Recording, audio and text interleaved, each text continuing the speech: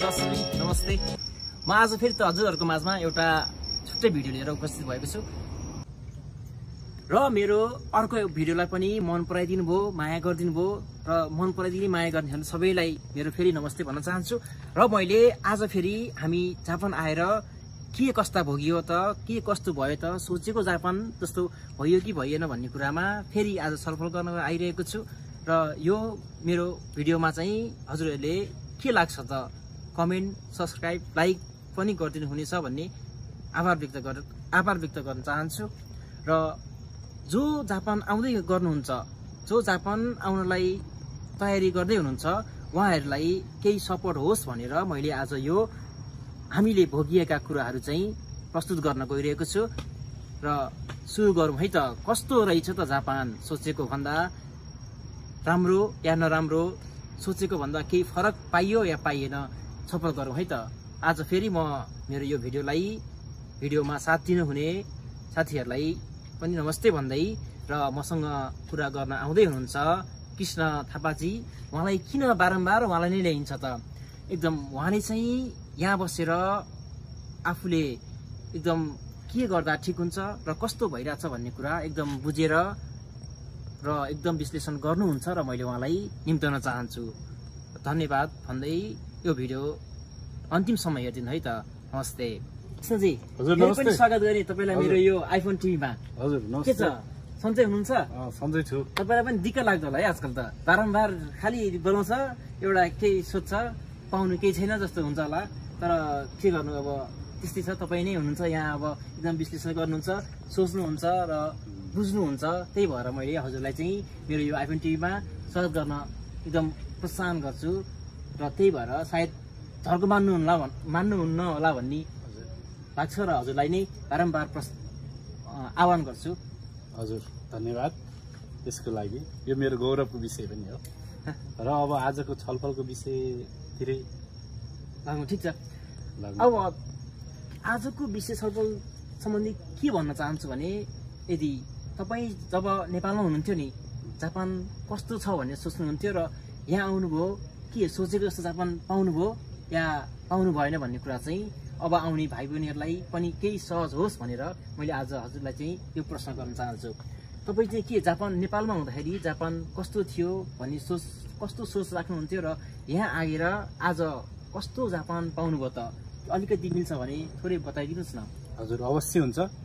सोचेको चिज भनेको कस्तो हुँदो रहेछ भने नेपाल हुँदा एउटा इमेजिन गरिन्थ्यो जापान यस्तो होला उस्तो होला भनेर।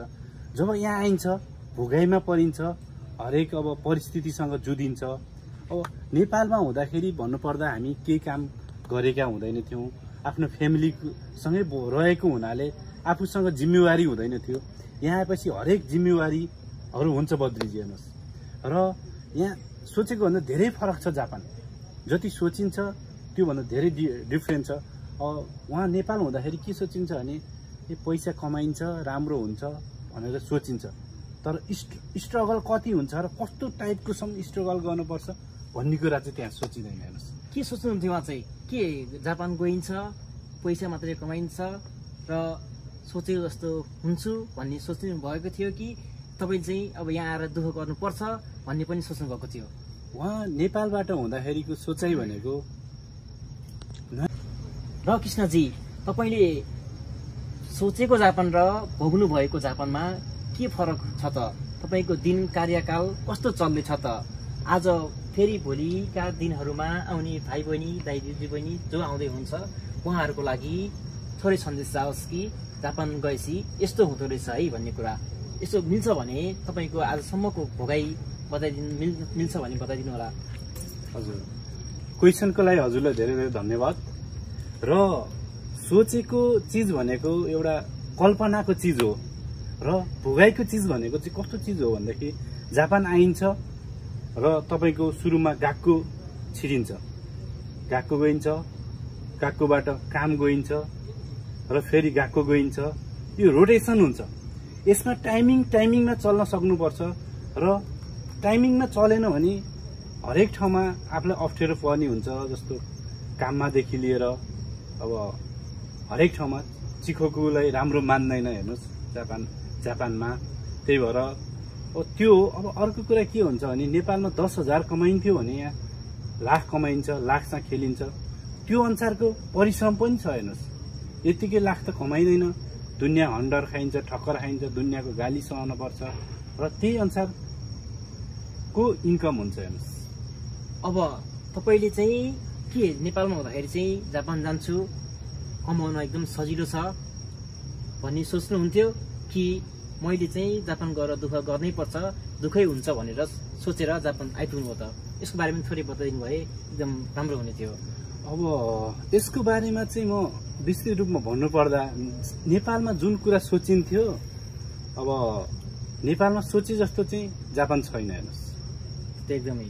अब हरेक कुरा अब नेपालमा यो गर्छु यस्तो हुन्छ भनेर हामीले इजिली सोच्न सकिन्छ भने त्यो कुरा व्यवहारिकतामा धेरै गाह्रो कठिन हुन्छ। एकदमै।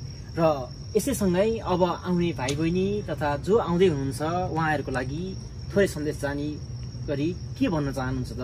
अब आउने भोलिका दिनहरूमा आउँदै हुनुहुन्छ जो अहिले त यदि हाम्रो यो कोरोनाले गर्दा एकदम अड्किरहनु भएको छ तर यो कुनै दिन कुनै टाइममा यो साम्य भएर भोलिका दिनहरूमा फेरि नेपालबाट जापान आउन खोज्नुभएका जति पनि ट्राई गर्दै हुनुहुन्छ र जति पनि प्रोसेस गर्दै हुनुहुन्छ उहाँहरूलाई के भन्न चाहनुहुन्छ त? जापान कस्तो छ भनेर? अब उहाँहरूले चाहिँ फर्स्ट अफ अल उहाँहरूले सोच्नु पर्यो कि जापान दुःख गर्नकै लागि जान्छु। जापान म जिरो लेभलबाट उठ्नको लागि जान्छु।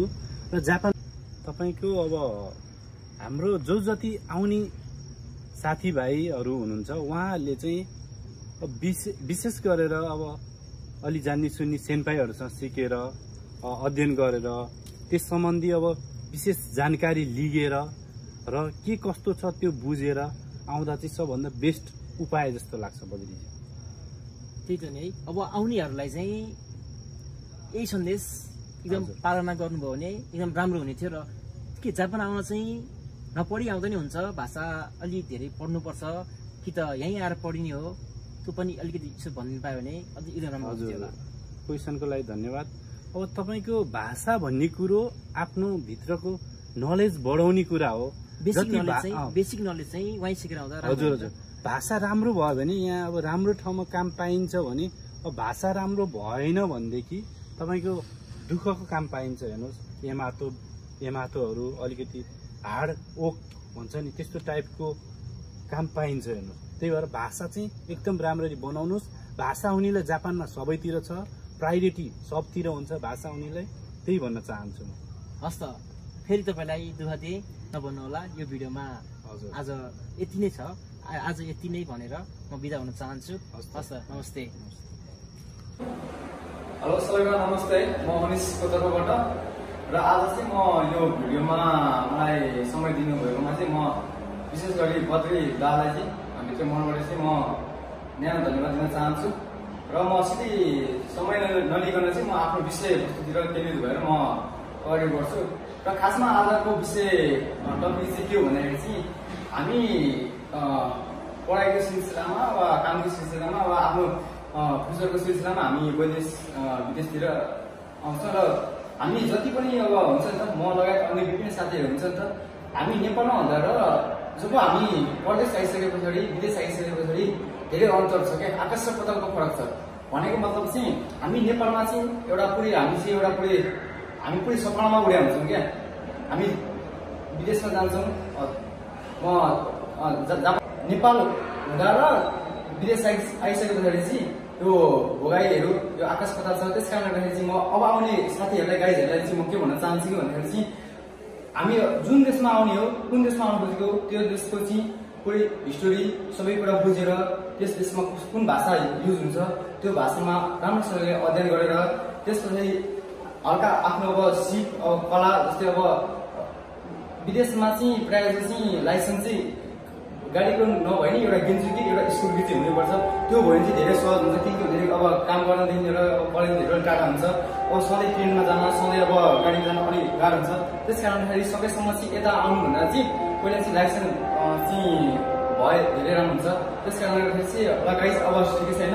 त्यही भएर चाहिँ म भन्न चाहन्छु मेरो मेन कुरो चाहिँ के हो भने चाहिँ तपाईँ कुन देशमा आउने त्यस चाहिँ राम्रोसँग अध्ययन गरेर त्यसपछि कुन ठाउँमा आउने सबै कुरा अध्ययन गरेर चाहिँ आउनु होला अब हामी सबै अन्त मेरो कुरा म यहीँ अन्त गर्न चाहन्छु यहीँ टुङ्गाउन चाहन्छु म पछि पनि आउँछु हस्पिटल